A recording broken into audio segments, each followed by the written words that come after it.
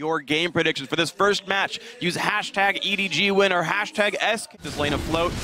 Top lane turret's already gone. SKT have built the freeze, but a dragon will come through for Edward Gaming. So I'm normally never a fan of taking a dragon this early in a lane swap because I think the tempo of which you can now swap back really gets slowed down so much.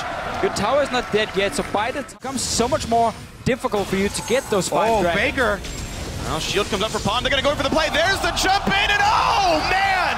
It took him 11 minutes, but Edward Gaming first. SKT at least going to try. so Marin's far, heading down, start. and Faker has teleport when he revives in five seconds. There's wards right on EG. They're not going to give this one up. Amazing Jay's going to have to join the team, I think. There's the ulti in for Wolf. TP in, but down goes the support. Edward Gaming 2-0 to start, but now Clearlove is attacked. That's a trade kill back in Pawn. Now stuck on top of the Dragon. Faker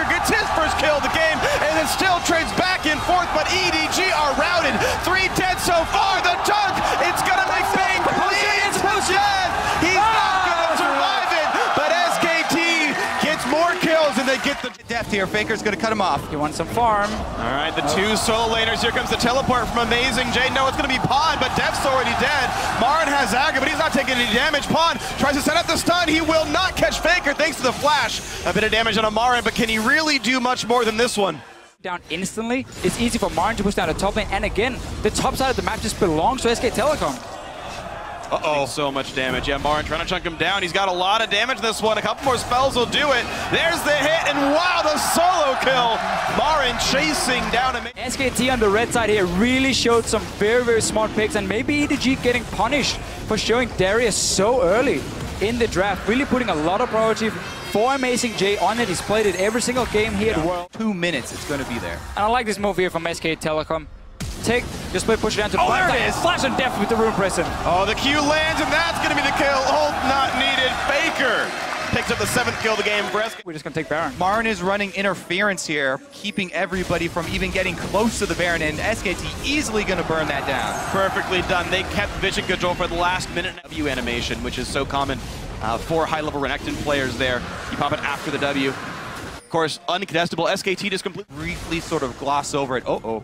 It Uh, looks like uh, Bengi here kind of work on some true sight, and Faker goes in. Finds Clearlove and a ton of damage right away. They try to burst him back out, but Faker's totally safe. Clearlove running away as fast as he can, but it's not good for Pawn in the mid lane. He's getting a lot of damage on him. A knockup comes back through thanks to Meiko, but look how little damage Marin is taking. The Ekko finally falls. It's a one for zero. SKT had to work for it. No, two. He nearly pulls in Bengi. He didn't have a lot of support near him. It would have been a bit of an effort, but here comes the push back in. Meiko in the front lines will get pulled back, but now Pawn is alone in front of the enemy team. He's going to ult to run away. Marin still tanking up in the front line. Shield. Amazing Jay. Now the sole tank in this one, and it's a little bit of knockups coming through. Faker not getting attacked. Big shields, but he's going to go down. Deft is still alive in the background, and Bengi's going to be next. But there's still damage coming through from Marin. Pawn will drop down, and it's a two oh. for one. The chase can continue. Marin's not far. He smells blood.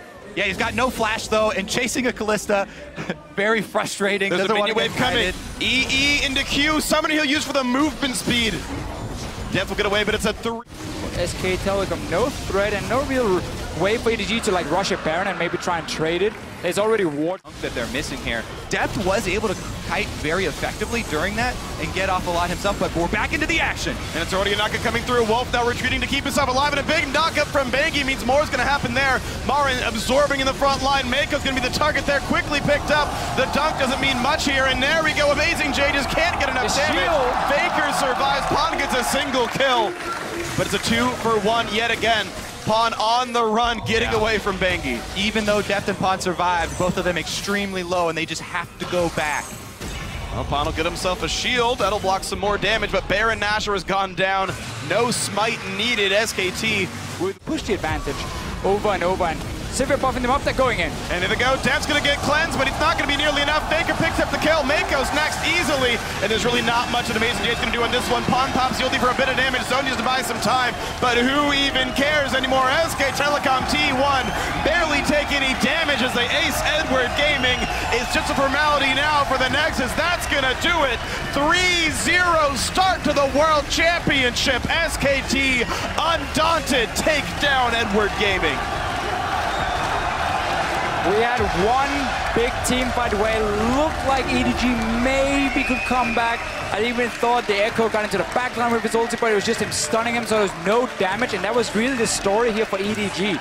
Once they fell behind, they never even had enough damage to kill the front line of SK Telecom, and it bought so much time for Faker and Bang to just safely sit there, and even Marin, of course, with this Renekton being a monster and just taking out two or three guys every time.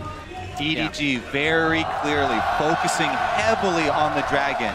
As you mentioned, giving up a lot for it in the lane swap, and then after the kill on Faker, rushing over to it even though Faker had his teleport up and the death timer so short in that period of the game. Yeah. SK2 were able to swing it back in that moment. There was basically two Dragon Calls. Level 1 or level yep. 2 in the lane swap and then the one you mentioned, but we saw both teams go for the western lane swap in the start with fast pushing the lanes, you know, take, divide them